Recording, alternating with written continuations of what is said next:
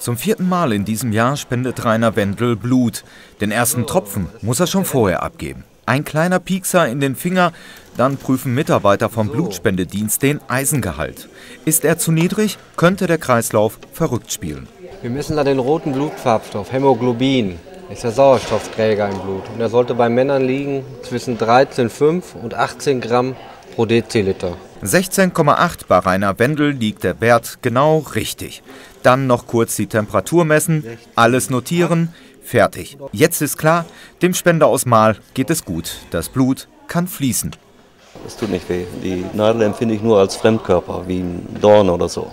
Immer wieder muss Rainer Wendel den Ball in seiner Hand kneten damit es nicht zu langsam wird. Die viele haben kalte Hände. Es ist immer so, um diese Jahreszeit ist das ganz häufig, dass das Blut dann während der Spende etwas zu langsam läuft. Und Blut ist ein Qualitätsprodukt. Das muss innerhalb einer gewissen Zeit in diesen Beutel laufen. Der 57-Jährige spendet aus zwei Gründen. Einerseits äh, ist es immer gut, Blut zu spenden, es wird immer was gebraucht. Und andererseits, ich habe etwas Bluthochdruck. Und das ist sehr gesund zu spenden. Ich spüre das, ist wie eine Entspannung. Ein halber Liter Blut passt in so einen Beutel und nach gut sieben Minuten ist er voll. Nur bei niedrigem Blutdruck dauert es länger. Rainer Wendel darf sich nun ausruhen, zehn Minuten lang. Die kleine Wunde ist in wenigen Tagen verheilt. Jeder Spender bekommt eine Tafel Schokolade mit nach Hause. Das fördert die Blutbildung und die gute Laune.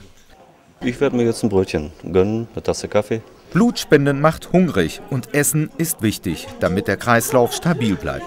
Jedes Mal stellen ehrenamtliche Helfer ein Buffet zusammen. Es ist wichtig für den Blutspender etwas fürs Auge dass die auch Spaß haben und die kommen immer gerne wieder und sagen, was haben sie so schön gemacht. Ne? Blutspenden darf man von 18 bis 60, Dauerspender sogar länger. Zu ihnen zählt Dietmar Lotze. Seine 114. Blutspende gibt er hier ab. Das hat auch persönliche Gründe. Ich habe auch einen Neffen gehabt, der ist am Herz operiert worden in Bad Oeynhausen.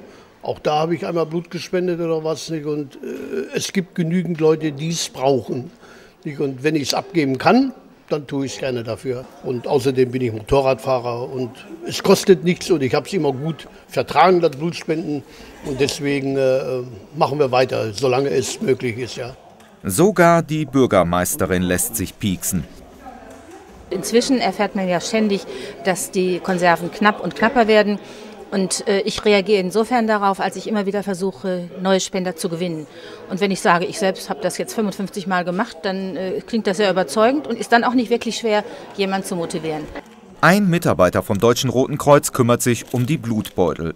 Sind sie voll, sind die Bestandteile des Blutes deutlich zu erkennen. Das Plasma ist die Blutflüssigkeit, die setzt sich oben ab. Und die roten Blutzellen, die sind natürlich schwerer, die setzen sich mit der Zeit unten ab. Und deswegen sieht das dann so aus. Und wenn man den Bodel dann wieder einmal bewegt, dann kann man das einmal wieder so vermengen. Und dann sieht es wieder ganz normal rot aus, so wie wir das kennen.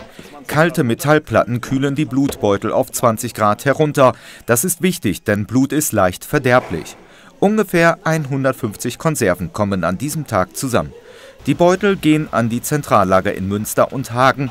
Dort wird das Blut auf Krankheiten untersucht, damit es danach wieder Leben retten kann.